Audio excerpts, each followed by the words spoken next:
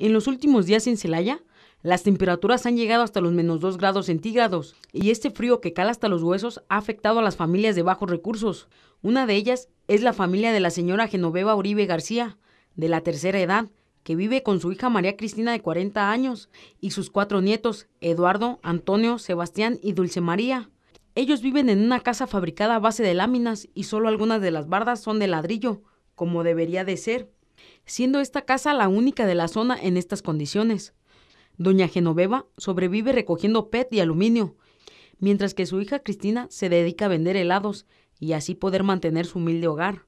Pero en esta época invernal, lo difícil son las noches, pues el frío ingresa por cualquier recoveco de la casa y genera que los niños Eduardo, Antonio, Sebastián y Dulce María estén enfermos de las vías respiratorias permanentemente. Pues luego está uno enfermo, luego está uno así nada más. ¿Y han estado pasando frío en las noches? frío, frío. Bastante, poco, como... Pues bastante, porque sí se ha sentido estos días. Lo único que es seguro como sus cobijas durante el día son los rayos del sol, que aparecen por unas horas en Celaya. No, aquí, en el aire, así, cuando está el solecito, aprovechamos de, de bañarnos.